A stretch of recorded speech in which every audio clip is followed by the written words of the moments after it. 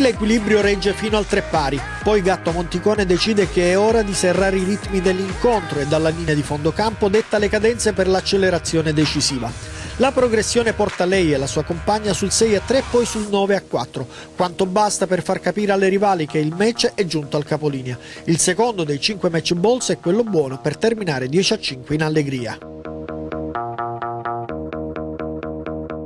Questa finale è stata un po' difficile perché abbiamo giocato contro le nostre due amiche e quindi è sempre un po' difficile impostare il gioco, sai, noi giochiamo il dopo per divertirci così, per giocare, per allenarci, ma alla fine quando arrivi in finale giochi contro due amiche non sai mai come gestire tutto, ma insomma ci siamo divertite, abbiamo giocato bene, siamo contente. Sì,